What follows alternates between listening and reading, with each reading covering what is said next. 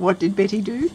Betty bought a bought a bit of butter, but the butter was so bitter, so she bought a bit of better butter to make the butter bitter better.